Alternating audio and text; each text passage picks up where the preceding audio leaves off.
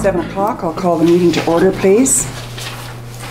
And a motion to adopt the agenda, please. Okay, Reimer and Blanchette. And we have some additions. We do have um, two amendments. One is an invitation to our elected officials to an emergency. Okay? Um, okay, Mr. Young is um, There you go. distributing the um, letter from the British Columbia Emergency Management. Oh, yeah. Okay? This wasn't an email. Correct. And the other is a proposed resolution to the Trans-Canada Yellowhead Highway Association, AGM, in April. All right, so a separate motion then to adopt as amended, or just add as amended, okay? Blanchette and Reimer. Okay, are there, is there anything further to add? Nothing? Okay. Any questions? All in favor? Carried. I want to take a moment before we um, continue here to welcome Director Daniel Allen, our Regional District Director for Area H. Thank you. And welcome again this evening. We're always very happy to see you, and visiting politicians are always welcome. Thank you. Agenda item three is to adopt the minutes of the um, March 10th regular meeting of council, 3.1, Blanchette and Torgerson. Are there any errors or omissions? Not that you could find. Okay. All in favor? Carried. Adoption of the minutes of the March 17th, 2015 special meeting of council. Blanchette and Torgerson. Okay. Any questions or discussion there? Hearing none, all in favor? Carried. And reporting out from the February 16th, 2015 special in-camera meeting. Motion, please, that council reports, uh, No oh, sorry? resolu- No resolution is required. for those two Okay, items. so we're just reporting it then? Okay. Received. Received, okay. Okay. 3.4, reporting out from the March 10th, 2015 in-camera meeting. And this is just for receipt as well. No resolution required.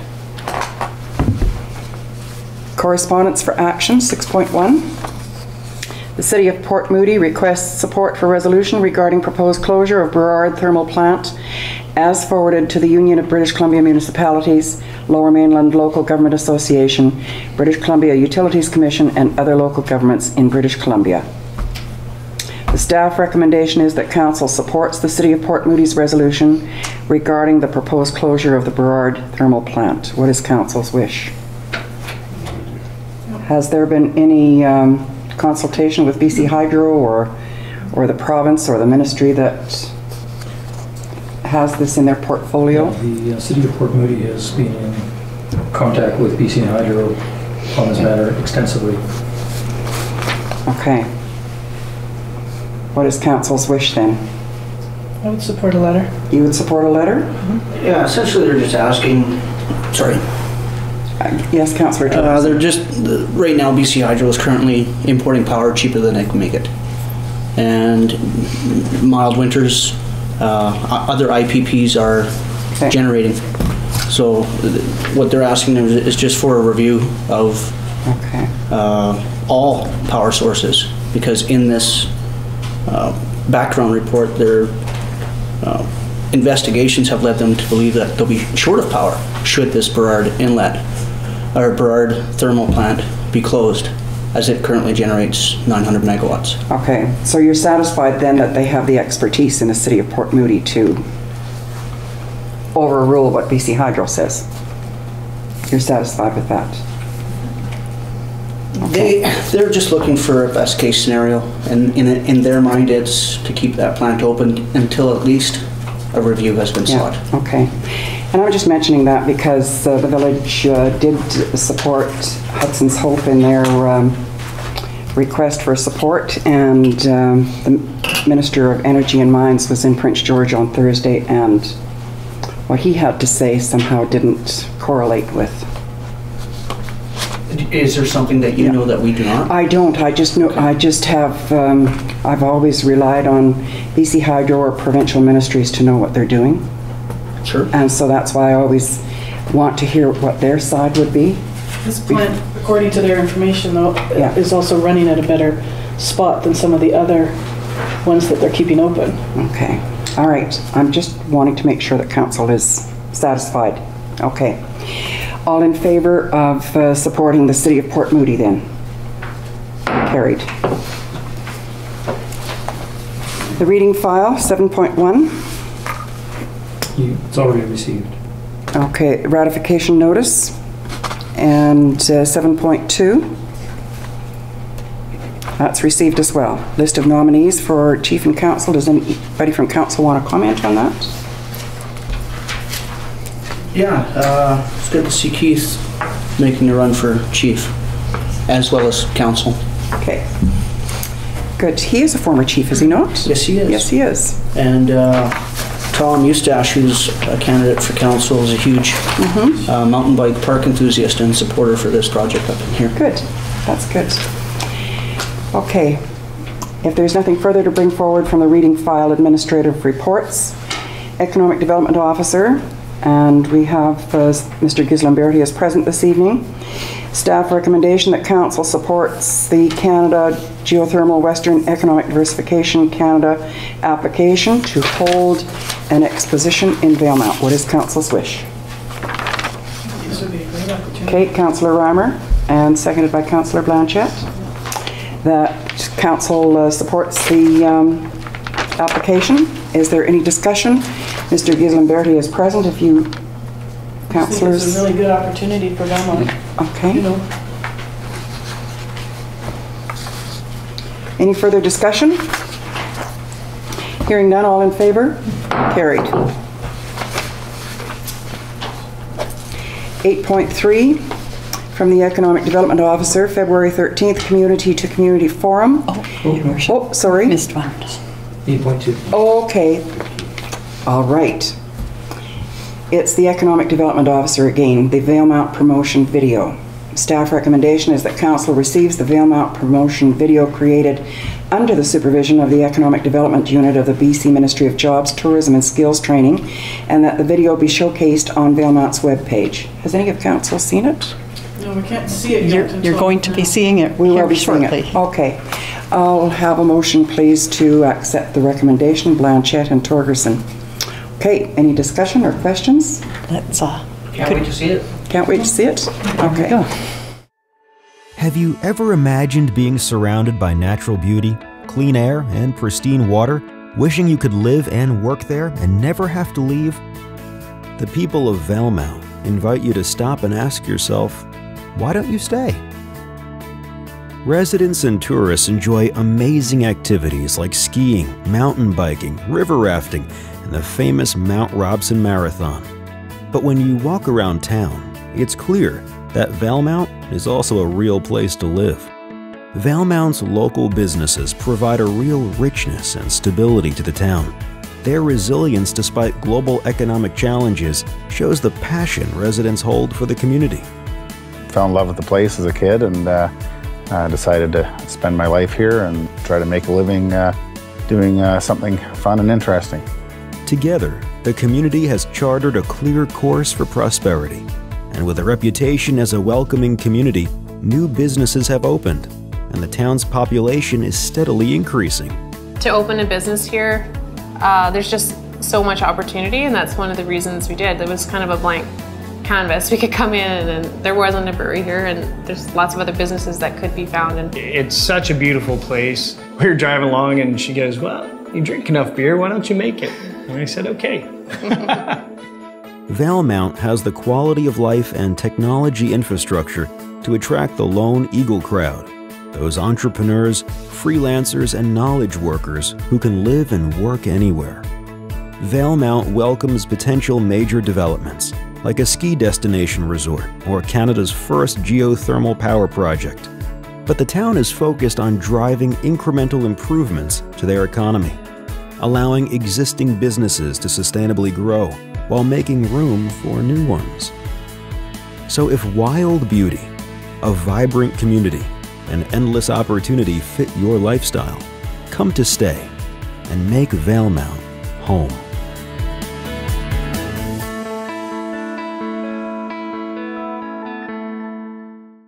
All right. Any comments or? That was wonderful. Okay, good. 8.3, Could we have a We motion? have a motion. uh, Where? Councilors Blanchette and Torgerson under 8.2. okay. And uh, that's to uh, accept the staff recommendation. All in favor? Carried. 8.3, Economic Development Officer, February 13th, Community to Community Forum. And the staff recommendation is that council receives the report from the EDO regarding the February 13th Community to Community Forum between representatives of the Village of Valemount and Simpcw First Nation for information only. Motion, Blanchette and Reimer. Is there any discussion? Hearing none, all in favor? Carried. 8.4, Committee Terms of Reference with respect to the Public Works Committee. And this is uh, the staff recommendation again, that council approves the terms of reference for the Village of Valemount Public Works Committee and Community Use Agreement Committee. Motion, please. Torgerson and Blanchette, and it's open for discussion. Are there any comments, or, yes, Councillor Torgerson? In uh, section B, guiding principles, will that also include uh, development opportunities and upgrades at the airport? I mean, it it is a broad sense that the identify risks and I, and opportunities. So, I mean, will it get more specific from there? As, as the, as the committee meets? This is a guiding principle as opposed to a, a specific action item. Good. It should be overarching for all of that. Thank you. Okay. I would think that anything that comes under Public Works, but it is a final, it's a council decision. Okay? Yeah. All right. Is there anything further that council wishes to uh, discuss? Yes, Councillor Blanchette? Under the community use agreement, um, I see that we've dropped a committee member. That's Did- because, Was there two previously? There were two plus myself. because as a standing committee, half of the committee members have to be councillors. Okay. So we could either add a councillor or drop it. Well, because Councillor Salt was um, assigned to the community use, wasn't she, or am I confusing it with, I'm pretty sure she was assigned as well. Or was she a backup? I don't recall. Just, it's nice to have, um, because it is a community use agreement for the school, it's nice to have a few more committee, community members than just council. Let's check to see if there was a resolution to add Okay. another councillor. Okay. Okay, that's good. Well, it's uh, one member from the school user group, one village council, and one non-voting staff. So you've got two from the village anyway, and just one from the school user group. Yeah. So are you think, uh, Oh, I'm thinking that there's already Councillor Salt and myself, so that would entitle us to one more community member. Correct. okay. I thought that there was just one member of the village council. If we could just confirm that. Yeah, I think that Councilor Salt was the, uh, Alternate? was the alternate. Okay. We'll confirm. Okay. We'll confirm that, yeah. Yes, sure. and I think the uh, thought was that we don't need two councillors appointed to everything. Okay. Yeah. Okay. Didn't you say you were on 17 committees or something? At one point, yeah. At one point, okay, but not anymore. No, 14. Oh, 14, okay. All right, so if there's no further uh, questions or discussion, all in favor? Carried. Proposed temporary use permit, Canoe Valley Community Association. That council approves initial consideration of um, TUP 0115, formerly TUP 0213, to allow public assembly as a permitted use at 1012A 3rd Avenue and direct staff to notify surrounding property owners and arrange a public hearing for same. Motion, please. Blanchette and Reimer. And it's open for discussion. Yes, Councillor Um, Blanchette. What happens after 2018? Because they can't renew their permit. What happens then? If I may, Yes. there are a couple of options. Um, The first is that they would find another place. The other option is um, they could potentially seek, uh, with the property owner's agreement, uh, to rezone the site. They could make an application to rezone the site to support that use. Of course, it is, it would be three years away from now, so there's, certainly there's nothing guaranteed about that either. No, I know, I just wanted to know what happens, you know, I mean, it's 2018, our term's up, they're gonna be re- having to renew, and, you know, I just don't wanna leave everybody in a lurch, mm-hmm. because it's, you know, really well-used area. Yes, and they have, understanding too, that they have been operating with a temporary use permit for the last two years as well, so they knew that going into it. They have applied for the extension, as you know. Um, It doesn't change their options, I mean, if they were to find another place Okay. during that three-year period, uh, they could certainly move as well. But Unless, unless the terms of their lease agreement with the owners uh, is for three years. So the rezoning is gonna be their only option if they don't want to move. That, that's correct. Okay. Anything further? Councillor Torgerson? Uh, A question for Mr. Young, and that's typically a rezoning application process is six months, eight? Typical ones. A typical one would be, say, six months. A skilled applicant uh, who was willing to uh, provide all the materials and knew what they were getting into, and as well as meeting any requirements that the village might set in terms of a development agreement, could potentially do it more quickly. Uh, A less, a less skilled applicant, one who does not have any prior experience in a rezoning process, it could take significantly longer. Um, And if they also do not have the wherewithal to cover any kind of uh, costs that might be attributable, say through a development agreement, they might not actually be able to achieve it. Thank you. Is, is there an easier way for them? I'm just, just in case they decide to, they wanna stay there and three years is up. Um, Rezoning is the only way? And Well, the other thing too is that, uh, bearing in mind that they do not own the property, Correct. So ultimately, the question too has to be put to the property owners. Um, What are their intentions for the property? That's a very significant question. Um, It may be, they may be perfectly satisfied with the temporary use permit for the time being, hoping that there will be someone else uh, who will come along after three years who will find that space attractive uh, or more attractive under the existing zoning. Okay, and um, let's assume that they stay in that place, everything stays the same. Will we give them fair enough, long, en- um, ahead, uh, oh, good lord, sorry, um, time enough to get the paperwork ready for them to rezone if they need to go that route? We can certainly uh, do our best to provide them with advance notice, six months' notice, for example. Yeah. Okay. Or perhaps on the anniversary, we can make, uh, give them a year's notice. Okay. Yeah. Uh, And I say that uh, bearing in mind what my comments were to Councillor Torgerson. uh, Unless I'm mistaken, I do not believe that they are a skilled development applicant, and they will need more time than six months. Okay. Thank you. Councillor Reimer? Madam Chair, the other alternative is that uh, council can expand the permitted uses, or instead of qualifying this under public assembly, call it a meeting hall, which could fall under the, under the current use. So that would entail what?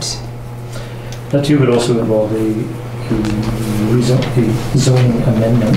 Okay, Um, Currently, uh, staff is investigating uh, the question of uh, meeting halls or religious assembly in the C1 zone.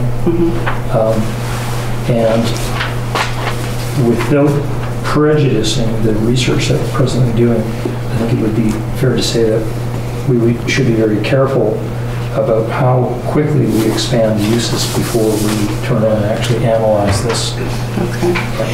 And perhaps, uh, Councillor Reimer, some research could be done. Did you not say that in, was it in the city of Prince George, that in C1 they have 56 uses and Valemount only has 20? That's correct. Yes.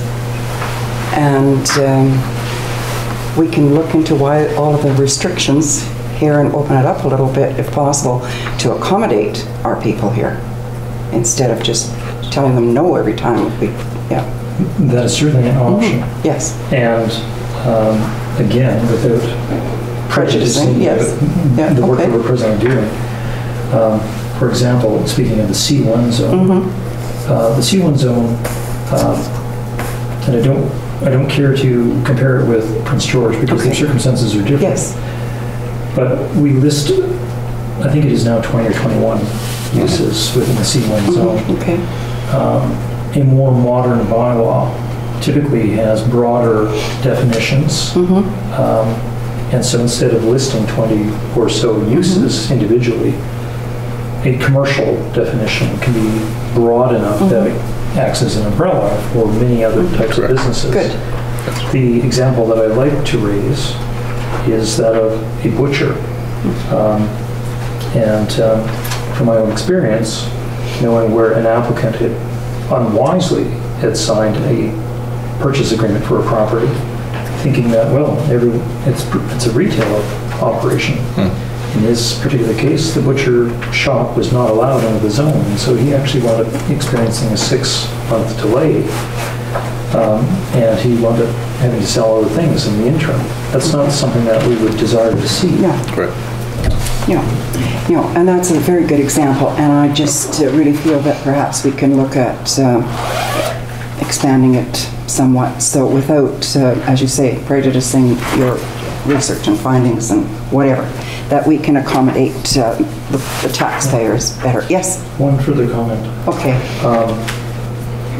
In the discussions that will occur a little bit later this evening related to budget, um, I might need to speak on this particular matter again okay, um, in relation to the official community plan and zoning. okay, Very good. okay, good.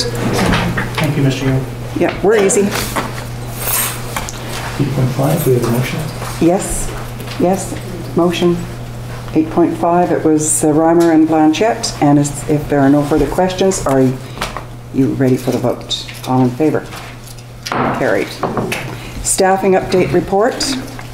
Staff recommendation that council receives the March 24th, 2015 staffing update report for information only. Motion to receive for information, Councilors Torgerson and Blanchette. Are there any questions? Hmm, Hearing none, all in favor? Question. Oh, you have a question, okay. Danielle's last name pronunciation, please. I believe it's Disarink. So, Thank you. Okay, anything further? All in favor? Carried. 9.1, Village of Valemount five-year financial amendment bylaw, number 737, 2015. Okay, 2015, not 20. That's okay. Staff recommendation that council approves first and second reading of five-year financial plan, or financial plan bylaw number 738, 2015, with the following amendments completed after the March 17, 2015 presentation. Yes, I've just noticed uh, with Yes. respect that there's a typographic error here. Okay? This- The citation is bylaw 737, and the recommendation should be 737, not 738. Okay. Councilors noted that change, 737 and not 738. Thank you. Okay, one, addition of $50,000 towards crack sealing the airport and Fifth Avenue with expenses being offset by reserved surplus set aside for this purpose. And two, tax revenues increased by 2% over and above the 2% cost of living allowance increase to allow for an additional $11,500 in revenues. What is council's wish? I'll make that motion. Okay, moved by Councillor Torgerson, seconded by Councillor Blanchette. That first and second reading be given to the five-year financial plan bylaw number 737. Any questions? Yes, Councillor Reimer. Uh, Madam Chair, when it refers to Fifth Avenue, uh, we're talking about crack sealing the Pavement. various places where there's uh, been some erosion of pavement. Yes. I believe that's it. Sorry, I didn't catch the comment. And ha- have we received an estimate for that? It's based on uh, previous times when we've contracted, um, contracted for this service. We try to contract, um, or use contractors that LDM brings in, which really reduces our costs for us. So this uh, crack sealing is uh, premised then on previous work Correct. done in the village? Correct. Okay. Well, I see that the district manager is present, so we'll have to give him a thanks and gratitude afterwards. Are there any further questions? Hearing none, all in favor of first and second reading? Carried. Council reports? I'll, I'll do it alphabetically. Councillor Blanchette. Okay, uh, March 11th, uh, the Healthy Communities Committee um, excitedly grant, uh, gave a grant of $2,000 to the breakfast program. They're buying pots, pans, shelving. Um, March 12th was our CBT night. We had a great turnout and the presentations were terrific. March 16th was my first RVSS meeting in McBride. It's a really great board, lots of energy, lots of drive. Uh, There's exciting things coming out. March 17th was the budget review. Uh, Lori gave a great presentation that I could actually understand. Uh, The 18th was the CBT committee. We met and went over the applications. And I would just like to thank everybody that has ever been involved with that because it is a grueling experience. Um, It's really hard to spread that money out. Um, the 20th was the VGD Public Information Night, and we had a really good turnout. Uh, tons of great questions, um, and they're coming back in a month or two, I believe, Steve said. That's it. That's all she wrote. Thank you. Councillor Reimer? And I was actually working from a different address. We know by the number of emails. Thank you. And my different address is where I hang my hat, and I happen to have a hat in Yuma. Good. So I, I did attend uh, Valemount Community Forest AGM on February 16th by Skype, and I attended Valemount Community Forest Board meeting by Skype on March 2nd. Thank you, Mr. Torgerson, for your help and assistance. Um, so Skype does need to be tuned up a little bit. It certainly works, but it needs some audio tuning. Uh, There was a constant sound of, as if wind blowing through a narrow gap We thought it was the air conditioner home. It, it was somewhat better when I muted the mic on my end and I could hear a little bit better, but, uh, say, the, the audio, being able to hear what's going on is rather a challenge. Uh, however, it was possible to engage on one of the items of the agenda on the, uh, on the March 2nd meeting. And for the freedom of being able to be out of town and still participate, I want to encourage us to move forward on this electronic communication technology as quickly as possible.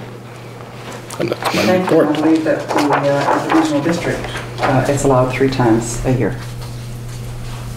Okay. Thank you, Councillor Reimer. Councillor Torgerson?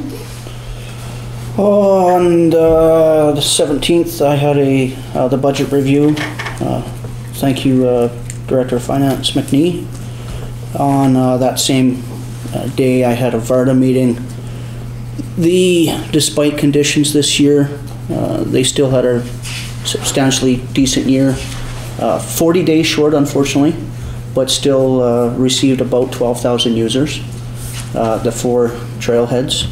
Uh, they had uh, chapel, not so great for business.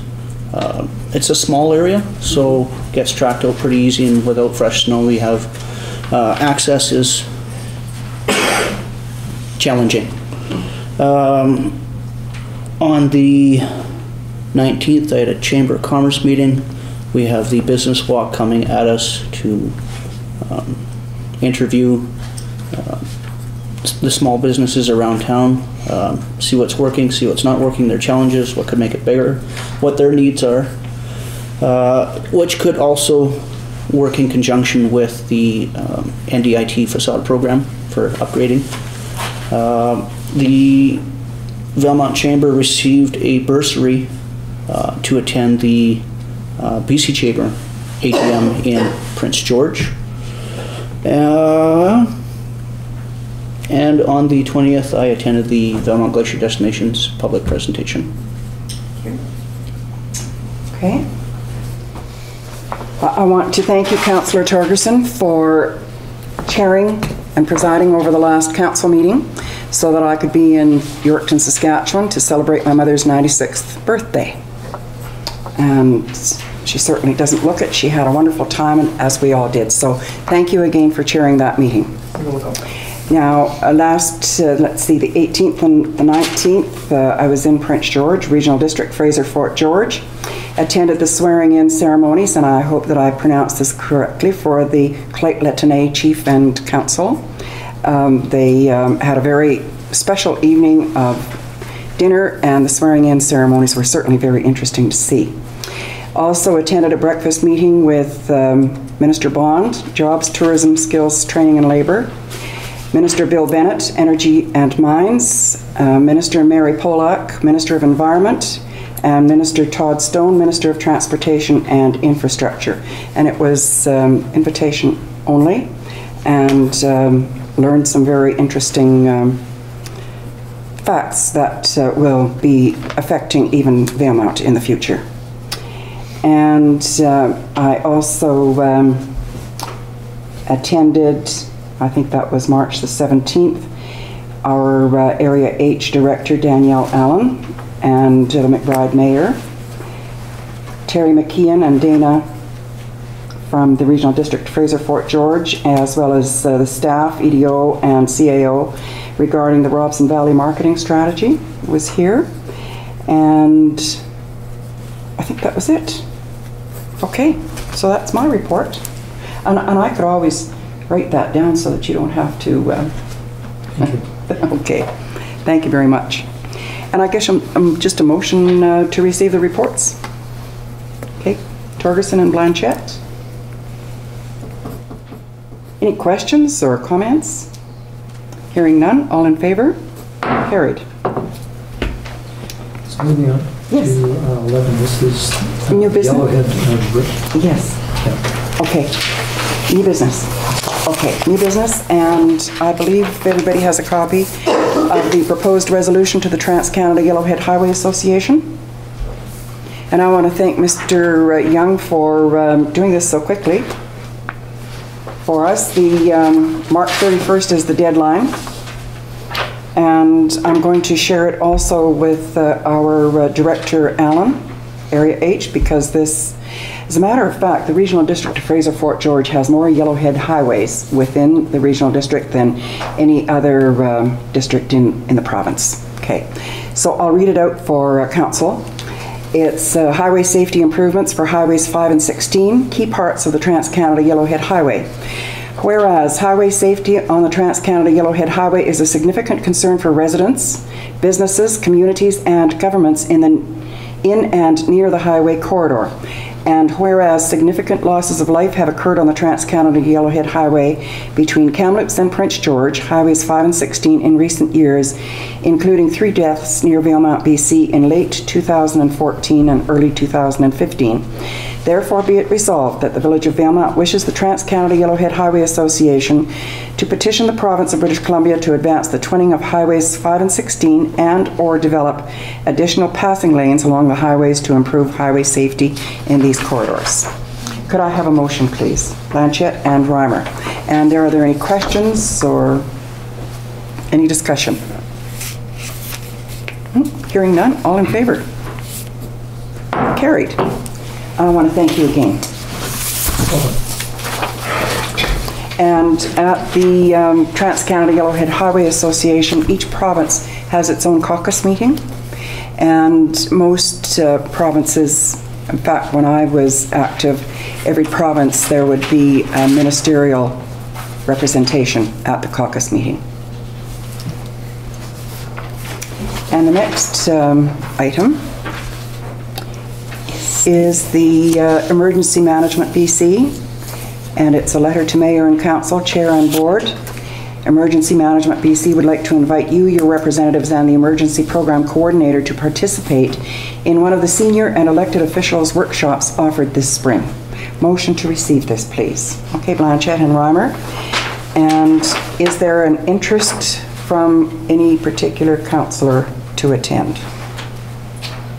I believe that Councillor Salt is um, council's... um, You're, you look, you're looking at me, so I... No, it was the same Okay, question as your okay. worship had. Yes. Okay. Yeah. Councillor Salt's on this. Do you recall the presentation that was made to council um, perhaps a year ago by Michael Higgins? Yeah. It's very, this is very similar to that, this training, if that helps. Is there a date by which we have to respond or RSVP? They simply said as early as possible. Okay.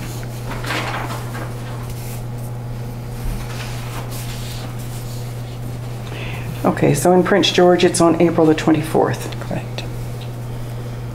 Maybe we should ask Councillor Salt If she in a week or so, Okay. if she wishes to attend. We can do that. Yes, Councillor Torgerson? Uh, Your worship, are you in Castlegar or Cranbrook, June 16th or 27th, May 27th? I'm in, um, at the end of May, I'm in Revelstoke. Okay. But I can check the dates, and uh, if I'm anywhere near there, I would um, participate. But I'll check the dates. We could also probably ask Michael Higgins to come back and Okay. do another presentation. It was very good.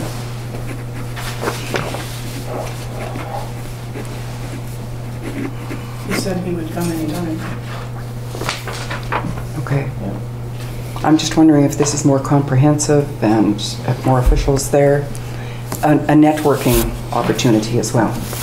Yeah. Okay. We can defer this until Councillor Salt returns. Sure. Okay. So, uh, Uh, When do we have to let them know, though? It would probably be Prince George, and it's on April the 24th. So, yes, Now, presently, you have a motion. uh, To receive this. To receive. yes. Uh, If this was to defer, the next council meeting, the regular council meeting is April 14th. Okay, which may that's not too be late. Very much time. That's right. All right, what is council's wish? Do we just, um, if Councillor Salt is unable to attend, do we have an alternate Well, there is a CAMS meeting on the 11th, of May. May? yeah, which would give a little bit longer time. Okay, But don't forget, we have NCLGA the first week of May. Correct. yes. All right. Is there an alternate that would, would attend if Councillor Salt can't, to go to Prince George? I'm not here that day. You're not here on the 24th? Is it just for the day? It would be just for the day. I can have a look in my calendar, get back to you. All right, let's, um, I'll, I'll just take a vote on receipt, and we can leave this for um, several days. Okay, good. All in favor of receipt? Carried. And we'll just set that aside.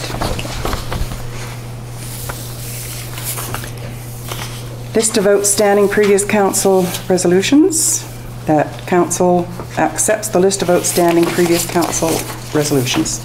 Councillor Blanchette and Councillor Torgerson. Any discussion? Everybody's busy. Isn't that the truth? Okay. Yes, Councillor Torgerson.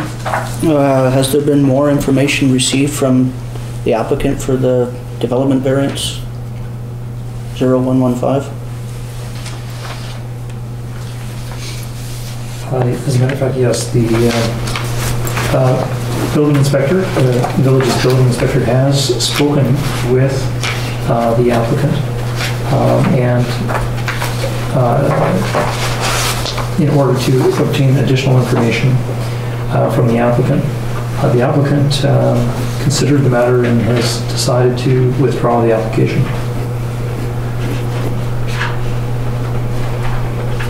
Formally withdrew? A letter will be sent by the village to the applicant uh, later this week. Thank you. To ac- to accept the withdrawal, is That's that it? Okay. Okay. All in favor of receipt? Carried. Calendar of events? Cool. Whoops.